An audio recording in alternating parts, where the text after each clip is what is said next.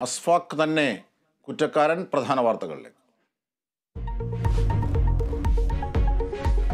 ആലുവയിൽ അഞ്ചു വയസ്സുകാരിയെ ബലാത്സംഗം ചെയ്ത് കൊലപ്പെടുത്തിയ കേസിൽ പ്രതി കുറ്റക്കാരൻ. അസ്ഫാഖ് കാലത്തിനെതിരെയുള്ള പതിനാറ് കുറ്റങ്ങളും തെളിഞ്ഞു. ശിക്ഷാവിധിയിൽ വാദം വ്യാഴാഴ്ച. പരമാവധി ശിക്ഷ നൽകണമെന്ന് പ്രോസിക്യൂഷൻ. കണ്ണൂർ ചിറക്കലിൽ പോലീസിന് നേരെ വെടിയുതിർത്ത സംഭവത്തിൽ പ്രതി അറസ്റ്റിൽ വെടിയിലായത് ചിറക്കൽ സ്വദേശി ബാബു ഉമ്മൻ തോമസ്. വളപട്ടണം പോലീസ് വീട്ടിലെത്തിയത് ബാബുവിന്റെ മകൻ റോഷനെ തിരക്കി. തൃശൂർ അതിരൂപതയുടെ വിമർശനത്തിന് മറുപടിയുമായി സുരേഷ് ഗോപി. അതിരൂപത മുഖപത്ര ലേഖനത്തിൽ രാഷ്ട്രീയ മാധ്യമങ്ങൾ അന്വേഷിക്കണം.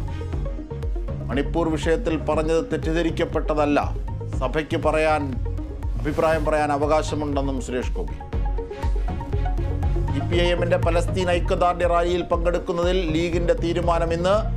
സംസ്ഥാന നേതൃയോഗം കോഴിക്കോട് റാലിയിൽ യോജിക്കുന്ന എല്ലാവരെയും അണിനിരത്താൻ C P I M. C P I M സംസ്ഥാന സമിതി യോഗം തിരുവനന്തപുരം.